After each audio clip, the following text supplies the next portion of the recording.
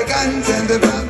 Hey, war, rumors of war upon the land. Rumors of war upon the land, yo. Babylon tried to divide and ruin the nation. That's their strategy to cause confusion. Creating a world of competition. And cause a world war revolution.